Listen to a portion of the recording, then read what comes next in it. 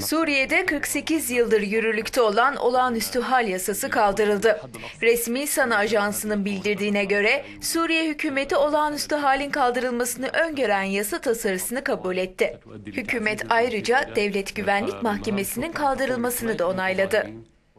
Suriye Devlet Başkanı Beşar Esad, ülkedeki yüksek tansiyonu düşürmek için elinden geleni yapıyor.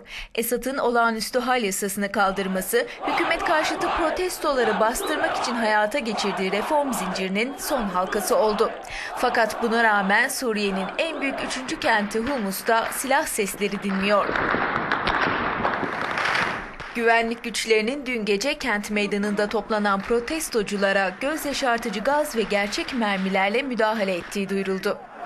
Hayatını kaybedenlerin arasında dünyanın en genç mucidi belgesini alan İsa Abdüdün de olduğu belirtildi.